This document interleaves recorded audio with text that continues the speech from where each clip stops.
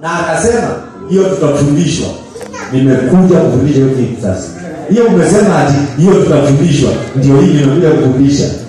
Praise the name of the lord baada baada na sandi niliwaambia baada ya mabaharia kutupa yona kwa maji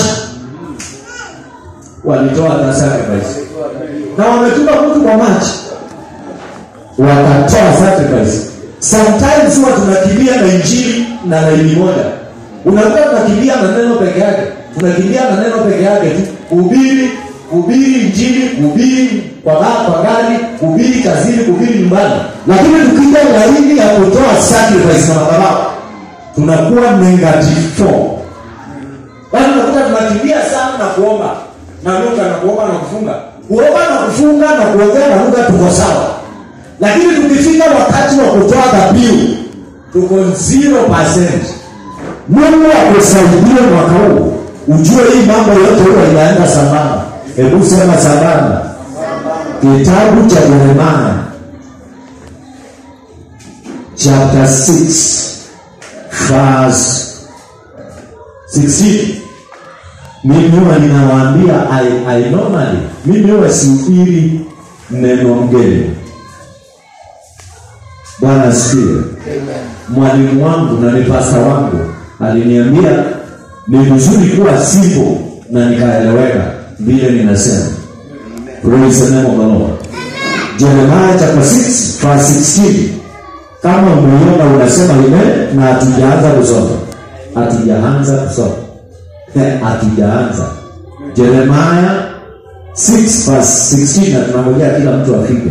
Hatuna haraka biblia inasema mwenyezi mungu anasema hivi. Simameni katika njia bana tutasoma biblia mbili ya kiswahili na kizungu. Mwenyezi mungu anasema hivi simameni katika njia bana mutazame. Ulizeni mujue juu ya matukio ya zamani. Tafuteni mahali ilipo njia nzuri muifuate nanyi mtapumzisha roho zenu. Ni hivyo. Usimalize hiyo ingine inasemaka hatari. Lakini watu hata wakiambiwa walisema hakika fulani tunaona hiyo kwa chini? Nimeigawanya. Mimi nimeandalai na red hapo juu na hii ya chini nikaandalai na blue. Hii ya chini nasema lakini watu wakasema hatutafuata njia hiyo. Kusio mtu anasema hivyo hapa na hawezi kwa sasa soma na kizungu Thus says the Lord, Thus says the Lord, stand ye in the ways, stand ye the ways and the sea, and the sea, and ask for the whole pass. and ask, ask, muulize nani? Ulizeni waalimu wenu, ulizeni wahubiri wenu, ulizeni wazazi wenu, zile njia watu walikuwa wanapita zamani watafanikiwa wakafanikiwa. Ask, Ask for the whole paths, ask for the whole paths. where is the good way, Where is the good way? and the walk therein, and, and walk therein, and ye shall find rest for your soul. and ye shall find rest for linasema. Sikiliza mtu wa Mungu, kuna njia unastahili kupitia, na ninarudiana hiyo kitu.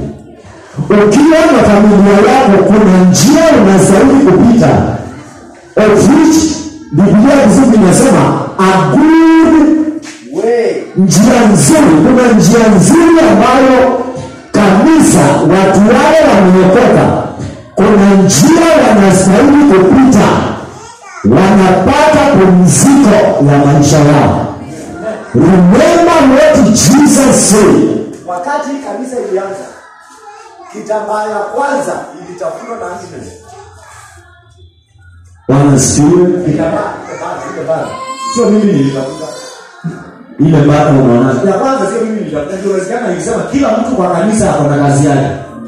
Praise the name of the lord na ni vizuri kujielewa kazi yako ni nini na ukikuta kazi yako ni kufanya kazi fulani ifanye ni kama ukimaliza utalipwa Sasa hiyo kitambaa nilikuta ameandika hivi akiwa na mama yake. lazima mwambie andike. Nilikuta ameandika hivi, kimeandikwa hivi. Matthew 11:28. Ndio ile iko pale nyuma ya mzee kuna kuna mahali.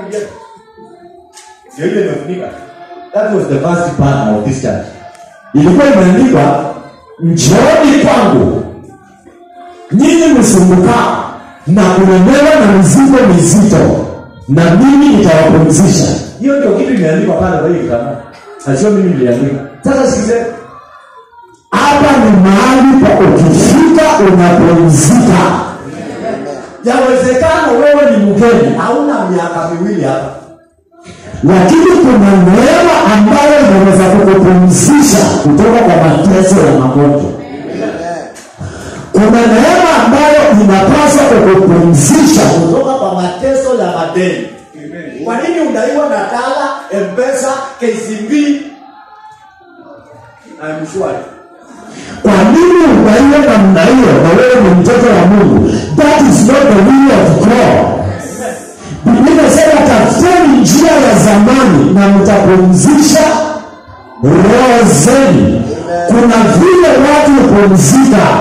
Pokea neema kama ya Jones. mpaka watu wengine wanakubali wakwambie barikiwa. Bwana yesu asifiwe. Biblia inasema jeremaya mahali tumesema kuna njia ambayo watu wao wanapitia ndio wafikie hiyo pumziko hizo njia ndizo ninataka kukuonyesha leo. Sema amen. Bwana asifiwe. njooni kwangu msumbukao na kulemewa na mizigo mizito na mimi nitawapumzisha. Naomba mungu akupumzishe. Kwa nini mwezi huu ulale hospitali na mtoto yule mkubwa? Na mwezi ujao kale kadogo? nani alisema hivyo? Hiyo ni kazi ya ufalme wa giza kuangaisha watu. Lakini yesu alidhihirisha kuharibu kazi zote za shetani. Kwa hivyo hakuna kazi ya shetani itasimama maishani mwako. Kama unaamini sema amen. Sitarukaruka. Na unajua sirukani. bwana asifiwe. But i want you to follow these words na itakusaidia sasa neno la mungu linasema endeni msimame katika njia panda muulize kuna njia za zamani watu walipitana na wakapumzika. Bwana asifiwe. Ukiangalia Biblia kitabu cha Isaya 41 bwana yesu asifiwe na verse verse 3 is it Isaiah 41 ah verse 8 For, na tutasoma tutasoma 41 verse 8 ukiangalia utakuta maandiko yanasema ati mungu alimuita ibrahimu rafiki yake. Tanaambia nyinyi uzao wa yakobo? Uzao wa ibrahimu rafiki yako. Kuna mtu amekaa kwa hii dunia kama wewe lakini alitembea na mungu. Alitembea na ushirika mzuri na mungu. Hiyo ndio kitu ilikuwa mafundisho asubuhi. Alitembea na ushirika mzuri na mungu. Kiasi ya kwamba mungu alifika mahali akamuita friend. Huyo mtu anaitwa ibrahimu na ndiye baba. Anaitangwa baba wa imani. Bwana asifiwe. Na sisi tumeokoka kwa imani. Now swali ibrahimu alipitia njia gani? Ndio. Afanyike rafiki wa mtu wa mungu. Nitakueleza hiyo njia. Fungua genesis um, genesis chapter 12 hatutasoma mimi ndio nasema mahali tunasoma genesis chapter 12 verse 1 point 1 ndiposa ufanye mapenzi ya mungu ni lazima uwe na a pure walk a correct walk with god. Utembee na mungu vizuri. Hata wakati biblia itakuwa imeandikwa hapo and you will never see the fulfillment, fulfillment of the word of god in our lives. Kwa sababu kutembea kwetu na mungu si sawa. Waisraeli walishindwa na wafilisti kwa sababu wale waliobeba sanduku la agano walikuwa wanazini kanisani. Na ni watoto watoto waeni walifika mahali wakaanza kufanya ukaba. Kwa, ile karumu ilikuwa kwa geti ya kanisa. Ati na wanaenda kubeba sanduku. Ati waende vijana. Mungu alisema aureni hiyo takataka yenu hapa. Ninajua mimi ni watu wangu lakini sasa kuna vitu mnafanya si sawa sikiliza nikuambia the year 2021 and the years to come ukikaa kwa wokovu amua that you will live to please god. Wachana na uongo uongo kwa midomo yako. Uongo huwa inapukuza presence ya mungu. Uongo huwa inapukuza power. Ukitaka kuwa na power katika kuongea usikubali the same same time iongee uongo. Jitenge na hiyo kitu ukitaka pawa ati unasema hakutanyesha mpaka mimi niseme. Na ukisema hivyo mungu anaenda anafunga mvua kwa sababu umesema. Ukitaka nani pawa hiyo ndio pawa unahitaji. Pawa ya kuambia wale watu wako na mashetani hakuna mahali mapepo yenu itasimama kuanzia leo nimeichoma ukisema hiyo ndio inakuwa fire.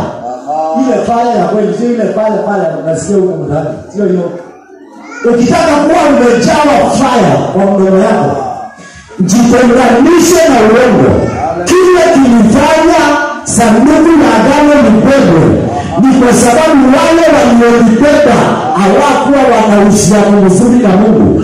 Kuna watu wengi kwa makanisa lakini hawana uhusiano mzuri na mungu. Njia za zamani utakatifu. Chapter 12 of genesis verse 1 ibrahimu aliambiwa ondoka katika hiyo nchi yenu. Na ukuje nitakuonyesha nchi nyingine. Hiyo ndio pointi ya kwanza. Kama unataka kutimiza mapenzi ya mungu tizia angalia years usijaribu kukaa kwa nchi yenu ya zamani. Wewe ni kabila gani? Wewe ni kabila gani? Wewe ni mkenya lakini kabila gani muluya wachana na tabia ya kuamini utamaduni ya kweli toka katika hiyo nchi ya wakata wewe wewe Abraham. tuko chapter 12 verse 1 toka katika hiyo nchi ya wakaldayo na ukuje nikakuonyesha taifa ingine wokovu tuliambiwa wokovu ndio thing Aha. Amen. na wokovu kwa lugha ya kizungu ndio inaitwa exodus yaani kutoka Kutoka. Kumelia. Tulanda. Yaani kutoka hivi nilikuwa kwa wakaldayo lakini sasa nimeondoka nimeanza safari ya kutembea na mungu. Njia ya zamani inaitangwa kuondoka. Amen. kabla sijampokea yesu nilikuwa mlevu hata sikuwa nalala kwa nyumba. Lakini baada ya kuokoka ondoka katika nchi hiyo ni kuonyesha ingine sasa watu wako kwa kanisa na bado wanatuanganga makombe. You know what is makombe? Nakueleza. Makombe ni ile kitu inawakaa kwa seneta. Wakati nilikuwa sijaokoka mimi hakukuwa na seneta. Seneta ikikuja tu nikiwa nimeokoka. Nikaanza kuona mitungi inaendelea kidogo kuuza hii mitungi ni ya nini? Nikaambiwa ni wakombe imetangwa seneta. Kuna watu wako kanisani ukifungiwa nyumba ambayo iko na makombe utakuta iko nusu. Ondoka katika hiyo nchi. Amen. haleluya wakati ulikuwa ujaokoka ndio ulikuwa unasimamisha mume wako kabiru kwa nyumba. Kwa sababu hukuwa na wisdom ya mwanamke mwe- mwenye hekima anakuaga na tabia gani? Wewe hii mambo ya kusimama mume wako kabiru. Hivi mume wako ndiye kiongozi wako watoto wote wanasema amen kwani nataka niwahubiria nisiwafundishe ondoka! Ondoka katika hiyo nchi. Wakati ulikuwa una yesu ulikuwa unavaaje tumbo lingine ambayo ina adabu. Na saa hii bana kanisani? Unavaa tu hiyo ina adabu. Ondoka katika hiyo nchi. Amen. mungu aliambia ibrahimu ondoka katika hiyo nchi. Na nitakuonyesha nchi nyingine. Kile kinasumbua watu kwa makanisa wakakosa kupanda mapenzi ya mungu ni kwa sababu hawataki kutoka. Wanataka kuwa kwa kanisa na bado wako duniani. It can work like that bwana asifiwe. Na waulizeni swali. Ungetaka ungetaka ukikuta mtu mgonjwa unamwekelea mkono na anapona usifikiriane inapona ile rahisi. Ah kuna asana ni walk mtu anakuanga ametembea na Mungu Aha. anaye testify Yes. inaweza kuwashuhudia Ndio. kabla sijaoa mama Vei mama kwa ule ushuhuda na shuhudia ni wapi si kwa. kabla sijaoa mama Vei nilimjua akiwa msichana ametoka bandili nimetoka wakati mambo ya leo nilimwonana akiwa akiwa akiwa msichana kuna siku moja yeye na Angel, si unajua yule mwingine Angel? na Justina si unajua Justina? Justina ni mke wa Thomas. Walikuwa wanashinda watu watatu. Zamani sana watu wa tusichana mimi nilikuwa nafanya kazi kusema mimi nitashukia hapa. Na kwa ujumla na kwa washuhudia hapa bana siwe nikuonyeshe njia za zamani. Njia za zamani unaweza pita hivi unakuta wewe na Mungu. Mmeshikana kama sifa mbili. yaani you are so dangerous katika ulimwengu wa roho unasimama tu kayona unasema kuanzia leo ninalaani pombe yote ya jana wale ambao wa, wale ambao wanaiuza wanakuja wanashikwa siku moja na polisi hawajui kile kinaendelea. Wewe ndio uliwalaani Amen. Amen. unaona hiyo plot tulihamia? Hiyo plot naishi saa hizi unaijua? Tulipohamia hapo nilienda nikasimama hapo juu ya corridor nikaangalia chini hapa chini. Nikaona vitu ya kuiba nikaona vitu ya kuiba. Nikiwa hapa chini hapo hapa kwa ndio mimi niko wazi. Nikaona huyu mtu anaishi nyumba ya chini anauzanga vitu ya kuiba. Nilisimama hapo nikaziangalia tu hivi. Nika nikaita mama Feni nikamwambia huyu mtu hapa hapa chini anauzanga vitu ya kuiba. Hivi vitu ya kuiba. Ninajua vitu ya kuiba ninaanza na nikaanza kusema katika jina la Yesu siwezi kaa kwa ploti na kuna mwizi. Wacha nikwambie iliumana siku moja nikiwa Gerenani nilipigiwa simu. Ambao wale maskari wa baba ploti kwa hivyo wanafanya nini? Wamekujia mali ilikuwa imeibwa na imepigwa hapa. Hao watu walitoroka. Unasema unaweza hata mahali unafanya na kazi ukachoma kila kazi yote ya shetani na unatumia tu mdomo. Lakini lazima upitie njia fulani ya zamani ndio upate pumziko ibrahimu aliambiwa Amen. Wakiwa wasichana vijana walikuwa vijana wengi lakini nimehesabu hao watatu maana mnawajua waliamua siku moja kuweka kesha kwa wawili you remember that time? Sijui kama ilikuwa 1998 waliamua kuweka kesha.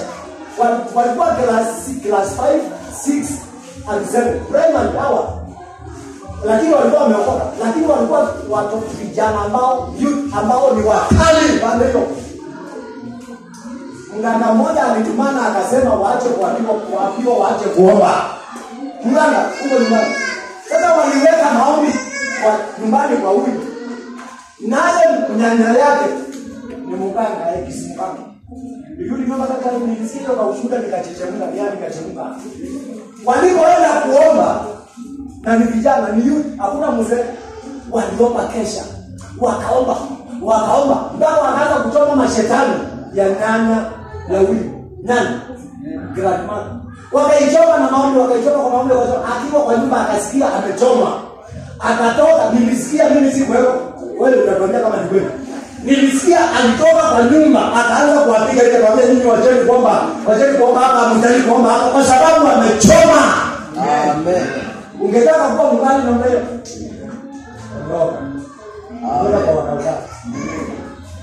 Mulikuwa na kitu gani ni kitu gani mlikuwa nacho? Mliweza kusimamisha huyo mganga baada ya nisema lakini sijawahi kuambia. Kuambia na kiwa are grandmother. You are grandmother. Wewe ukiwa hujazaliwa. Mimi nilikuwa mkubwa kuliko wewe ulikuwa hujazaliwa. Grandmother wake ndiye alitabiri akasema mimi nichungwe sana nikiwa na msichana mwingine kazini yangu kuna mahali tutapotelea kwa muda waja wacha nikwambie tumetoka mbali msemaji tumetolewa na yesu bani sasa unastahili kujua njia za zamani za kukomesha hizo nguvu za giza Praise the name of the Lord. Hallelujah.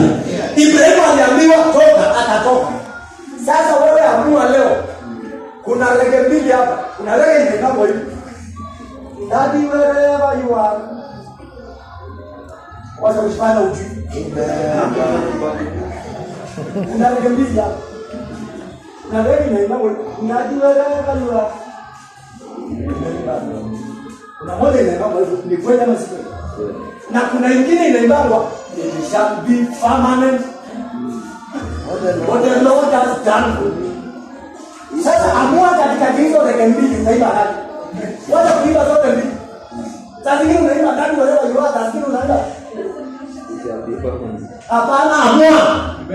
Yaani ondoka kwa wakatayo. Huko kunaimbangwa ati nani wewe you Toka huko ukuje huko unaimbangwa. Wacha kuimba zote mbili ukiwa kanisani.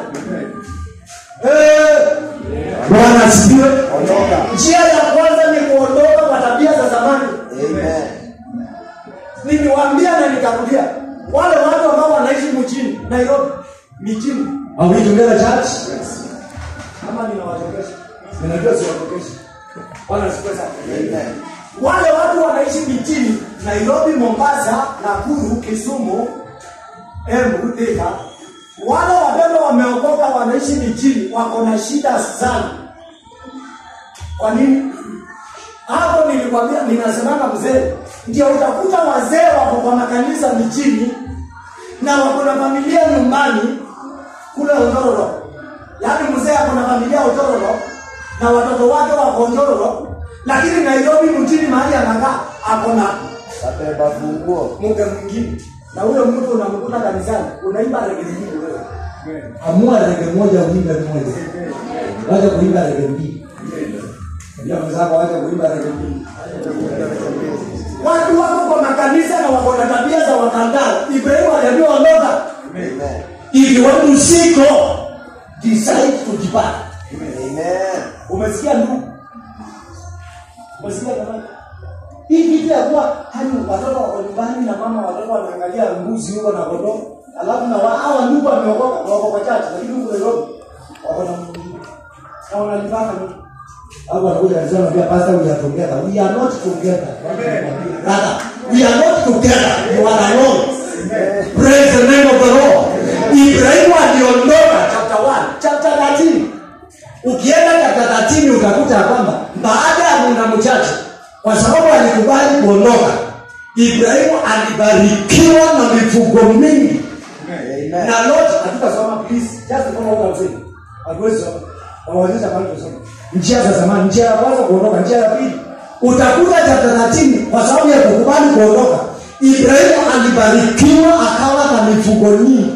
Mtu akiondoka na ingie kwa yesu na miguu yote na mikono ndio baraka za bibilia kuwa zinaanza kushuka juu yake otherwise wacha kuimba nyimbo za baraka za Biblia ili hali tunakuwa maisha ya dunia.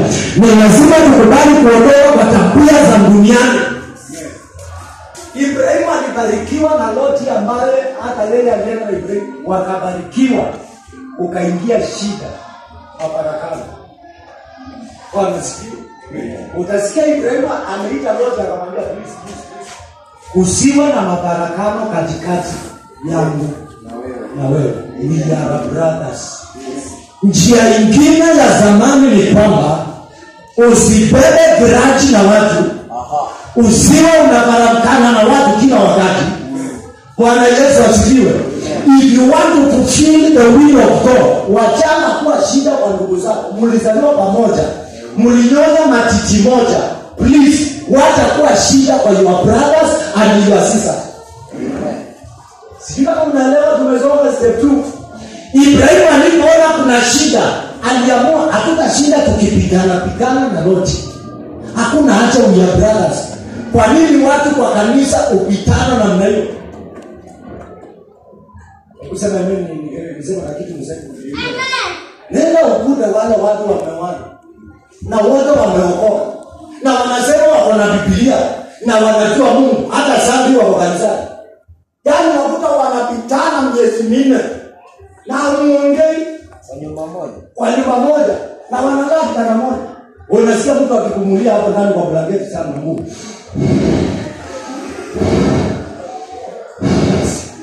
Na kumwangi hiyo ni maasira bwana.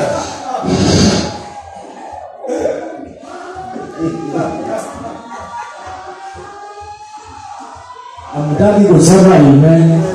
Nitawafundisha mpaka mkubali. Nikisaidiwa na neema ya kristo. Ibrahimu alipoona wakwamba kuna mabaraka kuna wandugu na wadada wanapekana mabarakano ni kama ni chakula. Lazima ukoruzane na lazima sio wewe. Lazima nikoruzane na watu kwa kwaya. Nirudi nikoruzane na wengine kwa kwa ubiri. Nirudi nikoruzane na watu kwa ploti. Nirudi nikoruzane kazini yaani wafanyikazi wakitaka wakiambiwa waandike yule mtu anajua mbaya. Wanakuandika. Kwa nini? Simchukue mfano wa ibrahimu. Ibrahimu abraham was a cool man. Step two ya kupitia yaani ya njia za zamani. Njia ambazo watu walipitanga wakapumzika ni watu kuwa cool. Jaribu kuwa a minister of the gospel but a minister who is cool. Yaani huo mhubiri wa injili ambaye ni cool unaga mambo mengi. Na watu wasijaribu kumistake your coolness to weakness. Si nilisikia uhuru kenyatta president njana eh? ulisikia alisema watu wasione simba. Simba amejeshewa, wakafikiri ni Wakafikiri ni wewe kuwa cool lakini usiruhusu mapepo ifikiri simbe simba amenyeshewa aje saa zingine amkana hivi naambia mapepo nimenyamaza fact I am very dangerous wacha kucheza na mimi. Hey ibrahimu alikuwa mtu cool akaambia Lot please tusisumbuane chagua vile utaenda ukienda kule chini na mimi nitaenda tu. Watu wa Mungu hata tunawasaidie hata kama kabla ya kuokoka ulikuwa mkali unajua kuna watu walikuwa wakali kabla ya kuokoka unajaribu kuonyesha kidole kuanzisha maana kuna watu muwapa watu walijaribu kuanzisha kidole unauma. La pia unauma nani? Una na point nani? Ili mtu kama yeye mtu akuchezea hiyo kitu biku biku ambia mwenzako Be cool. biku hata hiyo wakati ulikuwa ulikuwa nao zamani. Mpaka shuleni. Mpaka shuleni wanautambua. Walikuwa wanautambua. Hata wanakuita fire tena ukija kanisani pia kuita fire hiyo mimi ndio shuleni. Wacha hiyo tabia. Haleluya. Be a Amen. sasa now let me speak to family, families. Please don't mistake the coolness of your husband. Ukafikiri ni mtoto huyo ni simba waja nikwambie wadada wanaweza kuniambia elimeni hapo kweli usijaribu kufikiria kwa sababu mume wako ulikamatiwa na yesu. Ah, mzee wangu. Nipatie tu kanisani Hata anasumbua familia. Sasa zingine unakuta kwa, kwa, kwa, kwa, kwa, nyumba kwa families kuna shida. Wandada walikamatiwa wa ndugu na yesu. Sasa wandada wanafikiri haja nikwambia ukijua huyu jamaa ukijua jamaa vile alikuwa hajaokoka huyu ukijua vile alikuwa hajaokoka hauwezi kumchezea sana Eh, sema imani kama tuko pamoja. Kwa ndugu mbinguni, usiwe mtu wa vita saa yote. Kwa ndugu nimeombea kwa ndugu sema imani. Kuwa kuru si kumaanisha wewe si mzee wa hiyo nyumba, you are the husband, you are the head of that house. Be. Amen. Ibrahimu, hiyo ndio njia za zamani tuliachanga kitambo. Endapo utakuta hizo njia za zamani. Sasa wanadamu wao wana mistake. Wakiona mzee kwa kuni, wanamfanyia kila kitu, wanamfanyia kila kitu mbaya mbaya na na akiwatisha wanaambia dada, wanamwambia dada, wanaambia basi. Ba- Mzee, nyumbani niseme nikisema, kama ni aje watu wa Mungu wao. Watu wa wanada wa- wanada sio wali kabisa. Kanisa, wanazunguana wa ndugu zao waume zao wa nyumba. Wanazua wanazua wanazua wewe waza kukucha akiambiwa kwa nini nitajaribu nitaka kuambia basi. Wewe nikwambie ukikuja kuniambia nitakaa chini nisikilize. Na nikikuta uko na makosa ndani. Au kumbe mkwako nikikuta uko na makosa nitakwambia dada wewe ulifanya huu mzee kile aliumba kule shambani ya Edeni alikuwa mwanadamu. Nikutengeneza tu ametengeneza ni Yesu. Ama nimeharibu ibada. Ibrahimu alikuwa mtu cool. Haleluya kamili. Chapter chapter 14. Waingia tatu. Njia ya zamani. Endeni muulize njia za zamani. Chapter 14 baada ya Loti kuondoka alienda kule anaenda alienda kunaitwa Sodoma. Akaenda akapigwa na akatekwa ndani. Ibrahimu akaelewa alikuwa akaambiwa yule kijana yako alikuwa alitoka hapa na kiburi. Kule alienda. Alienda akashika. Ibrahimu kwa sababu alikuwa mtu wa Mungu. Bwana asifiwe. Akusema tuli alitoka hapa akimesomea Alitoka hapa na hapo. Wacha niwaambie ile kitu tempting kwa maisha ya imani ndio hiyo. Ni ya kwenda. Ile kwake ametekwa, hakumwachilia, alimfuata, akaenda akamrudisha. Akampigania akasaidia nephew yake. Hata kama walitengana akasaidia nephew yake akamrudisha. Ukitaka kufanya mapenzi ya mungu maisha yako la imani usiwe mtu wa kubeba watu. Hata wengine walikukosea miaka iliyopita wachana nao. Ukisikia wako na shida enda uwatoe kwa hiyo shida. Usiamini kusema unajua alinitukana sana unajua alinifanya. Wachana naye eh? kama ukikaza ukaona usikia utakwambia wewe ukasikize pisi mundu utasikia akisema ombea ajili yako aishi siku unapobarikiwa ajiomee na macho hata kama watu walikufanyia nini njia za zamani zilikuwa njia za msamaha. Hebu sema msamaha hiyo ni pointi ya tatu. Sasa tuko chapter 15 chapter 15 verse 1 neno la mungu likasema kwamba ati na neno la bwana likamjia ibrahimu mara nyingine. Mwambie ibrahimu usiogope nitakuwa pamoja na wewe. Thawabu yako ni kubwa. Ibrahimu akamwambia mungu acha. ibrahimu akamwambia mungu acha wewe unaniambiaje nitabarikiwa ilani sina mtoto praise the Lord akaambiwa enda uniletee njiwa ukaniletee ndani, ukaniletee kondoo utawasandaka na kuonyesha vile tutabaki ninajua hauna mtoto lakini enda unitolee njiwa uniletee kondoo uniletee and somebody read that verse? Genesis chapter 15 verse is it eight? hallelujah. Genesis chapter 15 mwanzo. Soma hiyo basi ni verse gani? Hata nimeanza kufungua nisomeni basi Mwenyezi Mungu akamwambia, mwenyezi mungu akamwambia ibrahimu niletee ndama. Enda uniletee ndama kwa miaka mitatu, mwanambuzi jike mwanambuzi njike. Kwa miaka mitatu. Kondoo dume. Kondoo ndume kwa miaka mitatu. Na ua na kinda. Na kida na njiwa. Unasikia vile mungu amehesabu vitu nyingi? Tunamuitanga ibrahimu baba yetu wa imani sio swali ni kweli tunafanyanga vile alifanya? Atufanya. biblia inasema wakati joshua walishinda. Bwana sikiwe walienda wakatoa nabii. sasa ndio limeanza sasa wakati sehemu ya nne jambo la nne njia la njia la nne ambalo ni njia ya zamani inaitangwa njia ya sacrifice. Kitu ambacho kanisa la leo na mtandao imeharibu kabisa. Ona watu wanasema siku hizi wahubiri wote ni wafanyabiashara wanafanya biashara na neno wewe si wote. Si wote. Sijakataa ndio ndio, lakini si wote. Ndio ambia mwenzako lakini si wote Biblia inasema Ibrahimu aliambiwa na Mungu, uniletee. Usifikiri hapo nataka kusema hivi. Njia ingine ya zamani watu hupitia ndio wapumzike inaitanga njia ya kutoa dhabihu. Hebu sema. Sema dhabihu.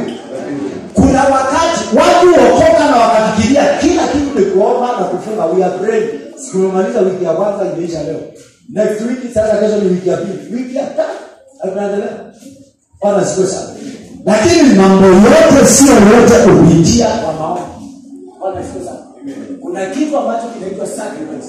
Jifundishe kutoa sacrifice ni part of the gospel. Wajana na injili kwa mwana nao. Injili ambayo inasema fungu la kumi ni wapi tena kwa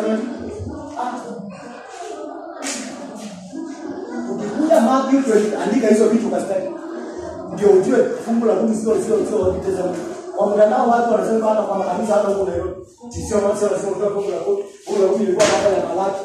Eh, bwana hapo kuna Yesu. Wewe hebu sema sacrifice. Andika Matthew 23 na uandike Hebrews chapter 7 verse 8. Hizo basi mbili katika Old Testament zinaongeanga kuhusu kujua taifa. Na watu unasikia wakisema ati hiki Malaki ndiye alisema. Na Yesu kwa nini alisema hizo Matthew 23 23? Sisemi usome, ukitaka kusoma wewe soma pekee.